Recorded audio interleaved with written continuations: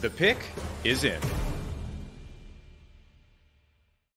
The San Francisco 49ers have made a selection in the 2024 NFL Draft alongside Locked On College Football host Spencer McLaughlin. I am Tenitra Batiste, and we're joined by Eric Crocker of Locked On 49ers to break down the 49ers, selecting Ricky Pearsall with the number 31 pick. So, Eric, how did the uncertainty of Brandon Aiyuk's future with the 49ers maybe play into the decision of them drafting Pearsall?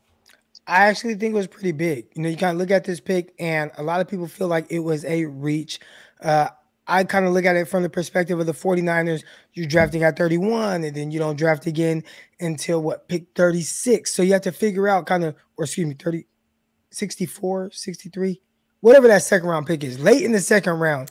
But what is that sweet spot for drafting a guy that potentially is someone, and I don't like to use the word replace Brandon Aiyuk because – of how productive he has been as a 49er, but kind of find a guy that fits that role.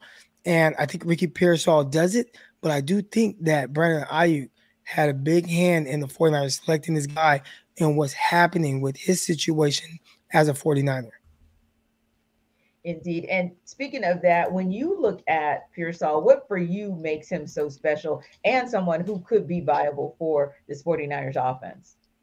You know, I, I, liked him. I was a guy who, you know, mocked Ricky Pearsall to the 49ers uh, just earlier Thursday morning. I had the 49ers taking him in the second round. Now, even when I was doing this mock, I'm like, oh man, I don't I don't think Ricky Pearsall is going to be here in the, this late in the second, maybe mid second. So the 49ers maybe selected him 10 to 15 picks earlier than most people anticipated him going. But he was a guy when you watch just how he plays, he exemplifies what the 49ers are looking for tough, physical, you know, uh, that aggressive guy. He has those characteristics for sure. He catches the ball very well. And then from an athletic trait standpoint, I think he has all those things as well. A guy that is really good with his route running. He's savvy from that standpoint. He has a good three cone. I think his uh, change of direction in route definitely shows up. And then when you watch his ability to catch the ball in traffic, I think those are things that probably really excited a guy like Kyle Shanahan. So again, maybe drafted him a little earlier than most people expected. But when you think of the role that he would potentially play with the 49ers, I think he fits that very well. Yeah, and understandably, they didn't want to take the chance of not getting him. Now, when you look at Pearsall, what do you see him needing to improve to be ready should the 49ers need him day one? You know, I think for the 49ers, we've seen a lot of guys come in as rookies and maybe not have the most success. Uh, Brandon Aiyuk is a guy who, you know, famously is known for being in Kyle Shanahan's doghouse. And we've seen most young receivers go into that doghouse as well. They drafted a receiver in Danny Gray just a couple years ago, and he may have one regular season catch as a 49er. So you have to know your stuff. You have to be smart on the field. You have to understand what the game plan is and what Kyle is expecting of you. The 49ers, I mean, this is a team that's three straight conference championships uh, appearances, one Super Bowl appearance in that time. They have high expectations.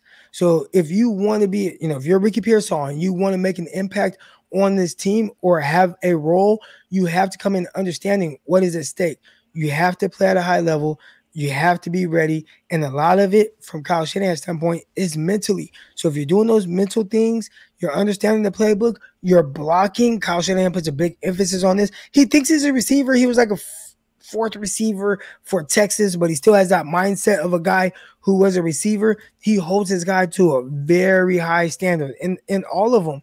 And Ricky Pearsall is going to have to come in prepared to play at that standard to be able to make an impact as a rookie for the 49ers, even though he was a first round pick. For more on the 49ers, subscribe to Locked On 49ers on YouTube or wherever you get your podcasts.